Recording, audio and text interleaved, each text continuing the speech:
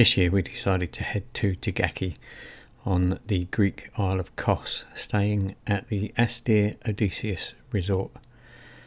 This is a video diary of our 10 day stay.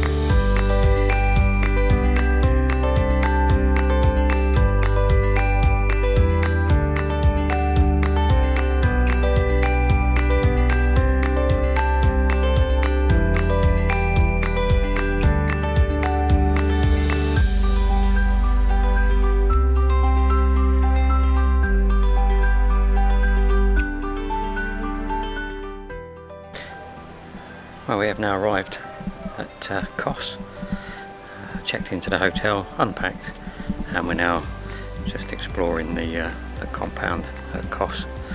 Uh, she's staying in the Astir Odysseus, I think it is in Tigaki. Um, and we're just exploring on our first day, having a wander around.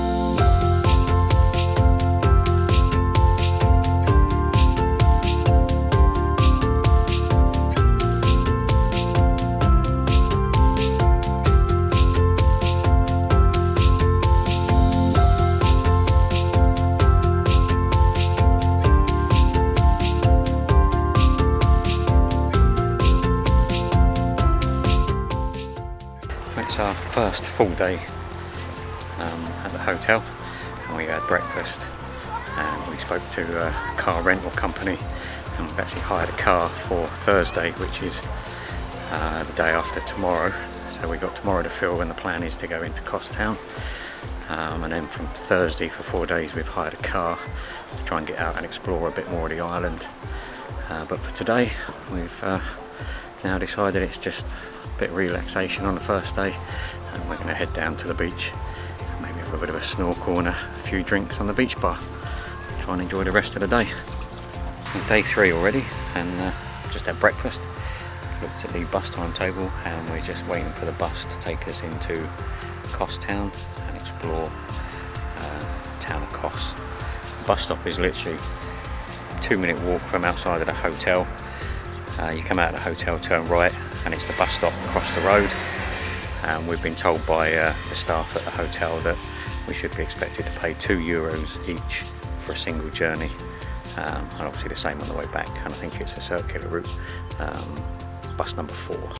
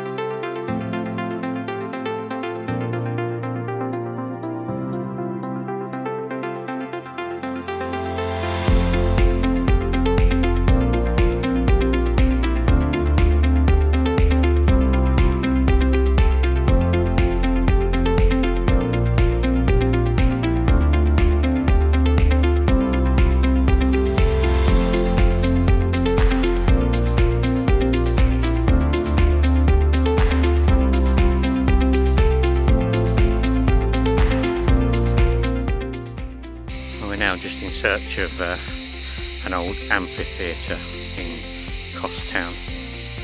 I don't know if your microphone's picking it up or not, but whatever the insects are, they're not make a racket. You hear that all over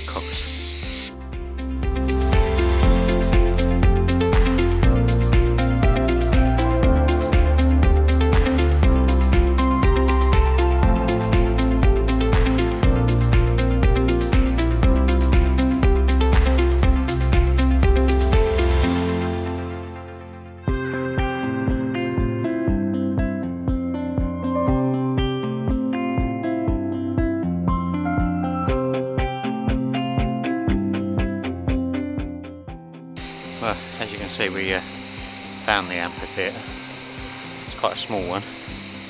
It'll probably be something like uh, the Roman equivalent of a Marlowe in Canterbury. But uh, the echoing of these insects is uh, still prevalent.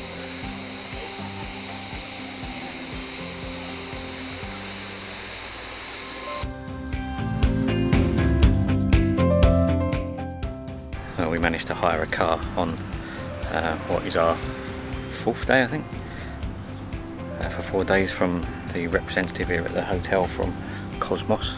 For four days cost us 235 euros which is about what 53 54 euros a day which ain't too bad. That's fully insured for any damage. The only stipulation was you're not allowed to go off-roading with it. But uh, it's a tiny little Toyota Aygo, but uh, I think it will do for us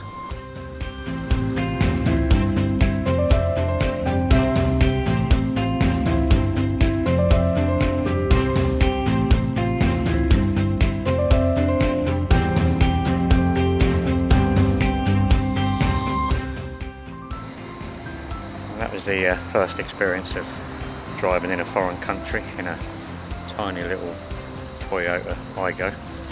That was quite nippy. It was good enough for what we need to get around here. And we come out of um, our resort and got onto the main road and we've ended up in uh, a place called Kefalos, I think. And we're just stroll around, see what's here before we uh, decide what we're going to do for the rest of the day. And it'll probably consist of more driving around and just finding other locations like this. So quite a nice little place, lots of places to eat and drink.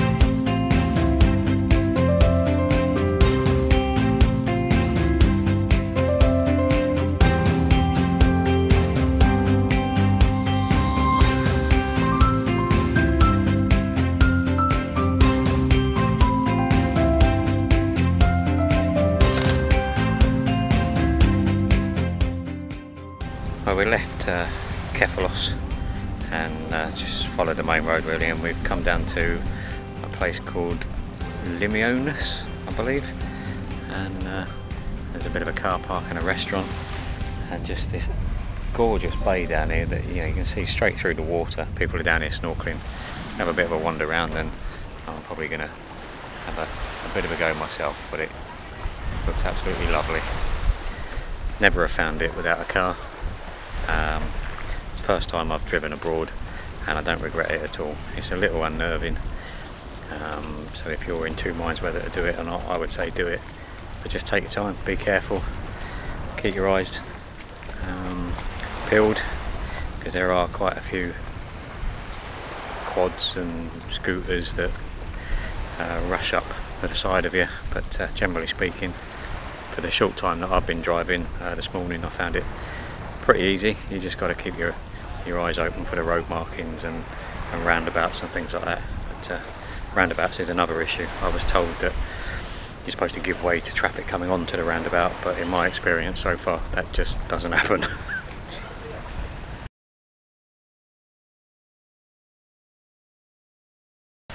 Well, after last night's rush job, um, trying to come down and capture sunset, I've actually got here quite early tonight. Got here about an hour before sunset, but uh, obviously the sun sets and dips below the, the mountains um, just off of the resort, so by about 10 past, quarter past 8 it was all over last night. So I got here in plenty of time. Um, there seem to be a few people still around the, the pool area and you know I don't want to intrude on their privacy so I'm I'm trying to pick a composition which um, is not in anybody's way I just want to capture a nice sunset at the resort but um, we'll see how it goes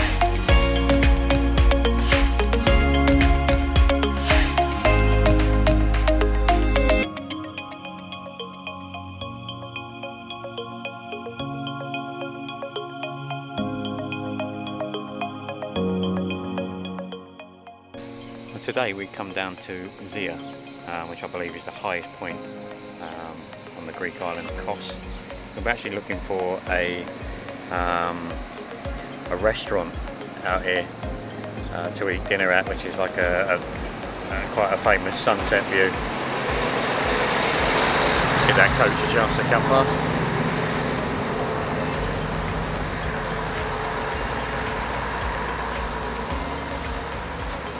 I wasn't um, to be quite as beautiful as it is. We just parked the car in the car park, walked around the corner and we found this typical Greek taverna on the corner. Looked very nice and come round and we saw this kind of mountain range. I've no idea what they are, but uh, looks very picturesque so far. So if you're in Kos Island, it's well worth a visit up to, to Zia.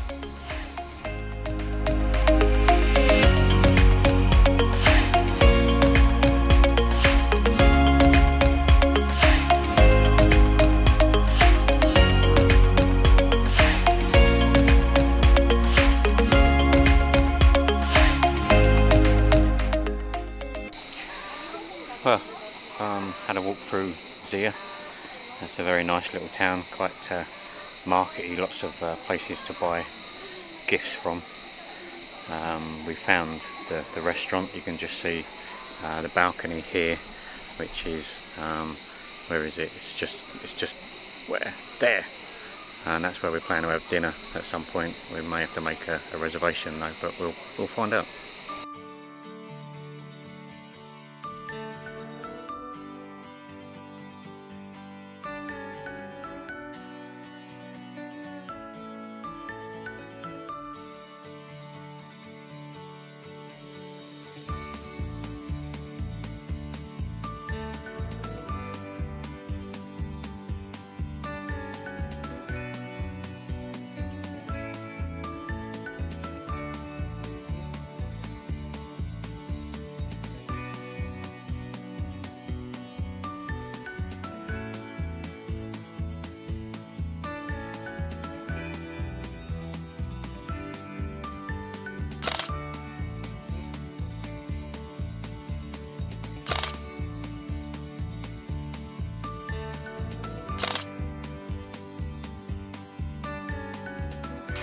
Now found our way up to uh, the national park, I think it is at Zia. It's a bit of a, a nature trail uh, full of a few animals and uh, apparently a few resting spots, picnic sites and uh, a viewpoint. We've only made it a short distance so far. Entry fee was very reasonable, three, three euros each and the ticket lasts all day. So we're just making our way through the park now and uh, seeing what it is. So far it's, uh, it's very nice. Well worth the reasonable three euros anyway.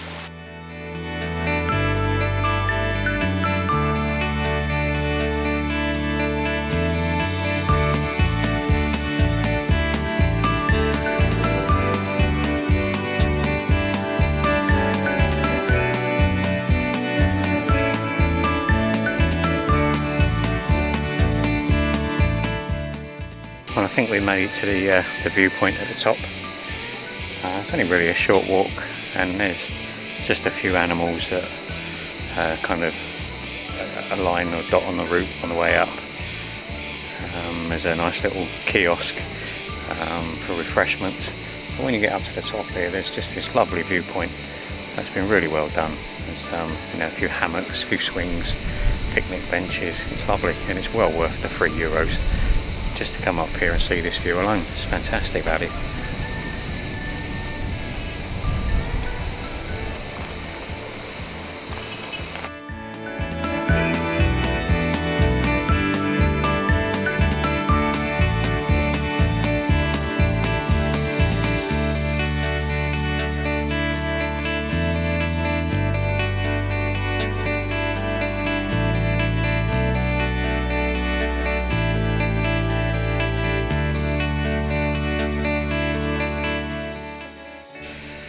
Well, we've been here at Zia all day now. Um, wasn't the intention, but it was such a lovely place. We've had um, a wander around, a bit of shopping, had a bit of lunch, a few drinks. Um, we wandered around the national park, back down to the shops again. And because of the time of day, we've now taken the decision that we're actually going to stay and try and capture a sunset, which originally wasn't the intention. So I've actually left my filters back in the hotel so I'm going to have to try and shoot the sunset without any grad filters or anything like that. So uh, I may have to bracket a few images as I think I'll be shooting more or less directly into the sun as it sets. It's a lovely viewpoint at the top of the uh, national park here and like I say we paid our 3 euro entrance fee when we first came up this morning and you can come and go as you please all day long with that £3 or 3 euro ticket. Um, we just asked a lady on the gate what time they shut and she said that they would close um, probably about nine o'clock, which would give us enough time to, to capture sunset. Uh, we timed ourselves walking up, it only took 15 minutes, and that's a really slow pace with a couple of stops and, and a toilet stop, so we've got plenty of time to, to capture sunset and then uh, have a leisurely stroll back down again. So hopefully we'll get an image, and I'm now just trying to work my way around and try and find some sort of composition. Um, at the moment, we seem to be all alone, but yeah, we've got an hour and Uh, 30 hour and 40 minutes till the sunset so maybe the crowds will arrive before then who knows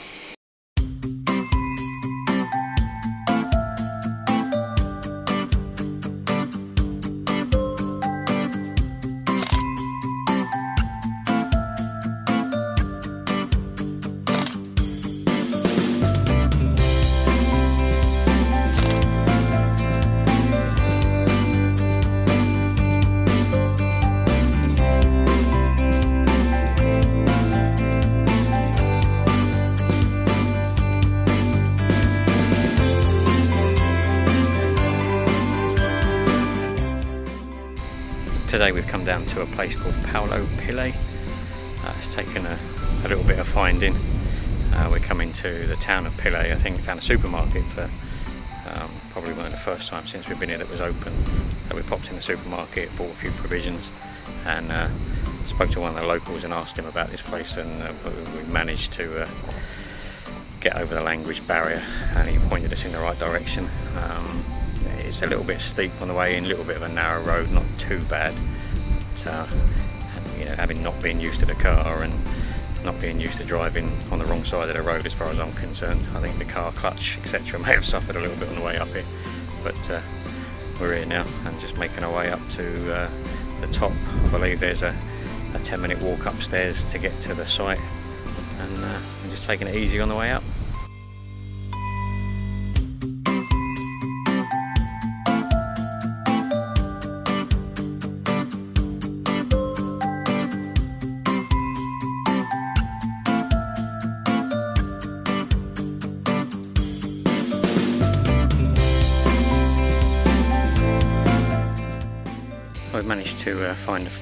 Stairs leading up to the uh, cafe um, and a bit of a lookout at the top. Um, just a word of warning if you're coming up, make sure you wear some sensible footwear. It's not really the, the kind of uh, terrain for flip-flops.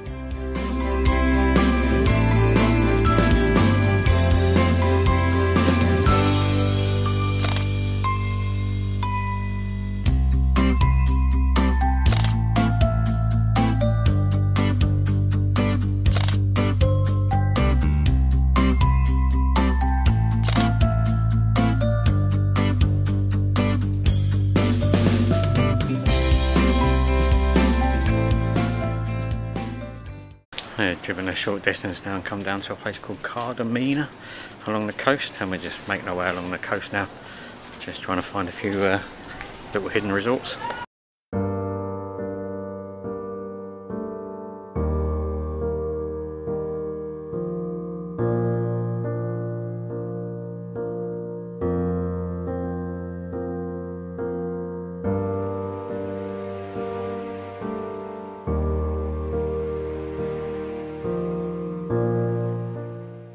Today we come down to Asklepion, one of the uh, uh, most popular sites on Kos for ruins. Um, cost us 8 euros each to get in um, from where we're staying. It took us about 9 or 10 minute drive.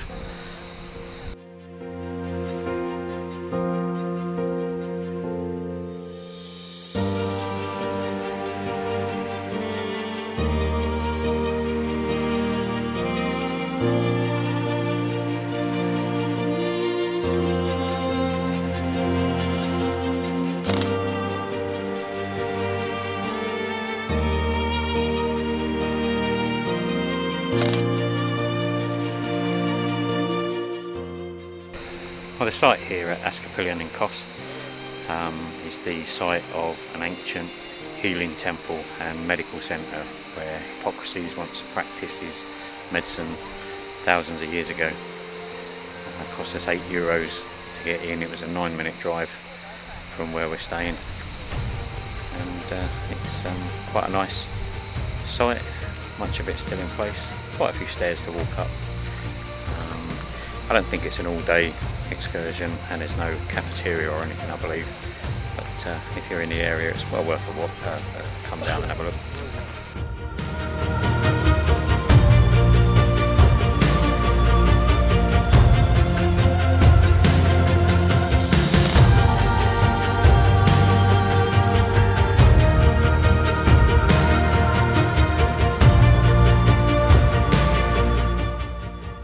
Taking a 40 minute drive now down to the Basilica of St Stephen, this little beach uh, where there's an island uh, just a short distance off the coastline um, with a church. I'm not quite sure if you can see it. It's a lovely location.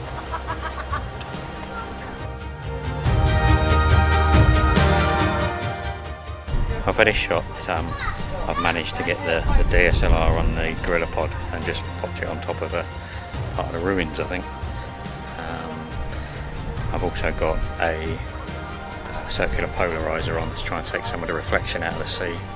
I've got a three stop soft ND grad and the Lee six stop filter just to try and smooth out this water a bit and it's giving me an exposure time of about one second at the moment and it's not coming out too bad. Uh, I think the only problem from this viewpoint is you can't really tell that it's an island um, and you might be better to try and move around uh, so you can get see both sides of it so you can actually tell it's an island but uh, we'll have a look in a minute.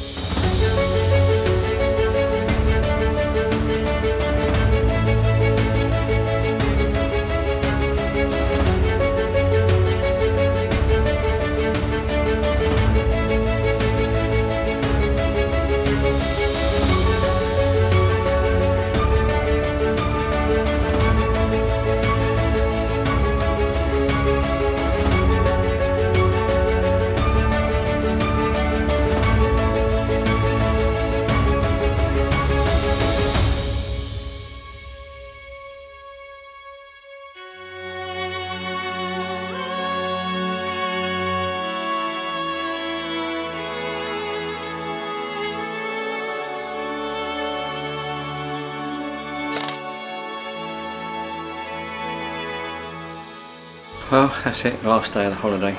We're um, just packing up there in the hotel room, just waiting to check out. Um, then we've got to check out by midday, but we're not being picked up till 2 for the airport. So we'll have a couple of hours to kill. Probably uh, sit up in the hotel lobby, have a few refreshments or something before uh, in a taxi to the airport. It's been a great week, or 10 days. Um, but as always, it's always nice to get back home again. Um, we've really, really enjoyed the holiday. The Astir Odysseus in um, Tigaki Kos, beautiful place. Um, it's a little bit far out from anywhere else, so yeah, I advise you to hire a car for at least a few days to go and see the rest of the island. It's the first time I ever hired a car, and I don't regret it. Um, took a little bit of getting used to, but once you do, uh, it gives you that freedom to travel wherever you like. Kos being quite a small island, there wasn't anywhere that we couldn't get to in the car and we managed to visit everywhere that we, we wanted to. Um, had a great time. Um, not quite sure what I was going to do with the video when I started so uh, obviously you'll have seen it before I do so I hope you uh, hope you enjoyed the video and uh, I'll see you again soon.